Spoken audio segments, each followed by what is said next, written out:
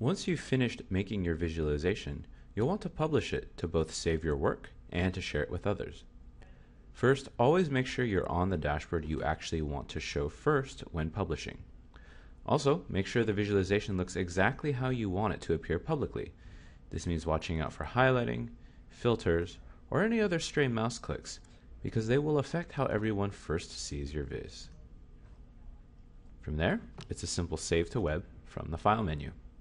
The difference between Save to Web and Save to Web As is as you'd expect.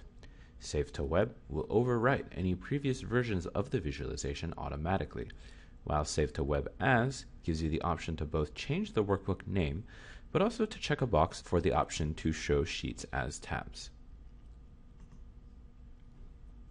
You'll be prompted to log in with your Tableau Public credentials.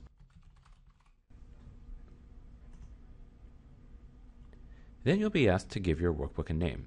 This is very important not only for organizational reasons, the workbook name will also be the main identifier when people share your visualization, whether it's through the URL link or social media. Having a workbook name that is both descriptive of your viz but also is easy to understand is very important for motivating people to view your visualization. The box for Show Sheets as Tabs option will turn any visible tabs you have in your workbook into navigation tabs at the very top of your visualization once you publish it.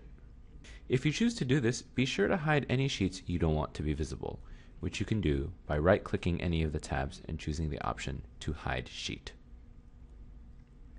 When you're ready, click Save, and Tableau Public will publish this to the web.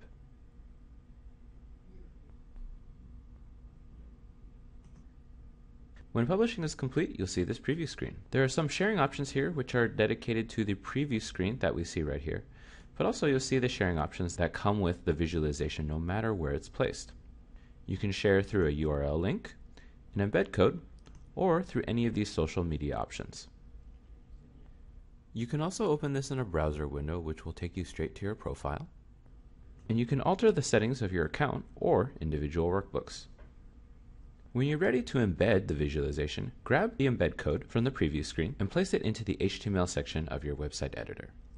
If you have any other questions about publishing and embedding Tableau visualizations, email us at social at tableausoftware.com.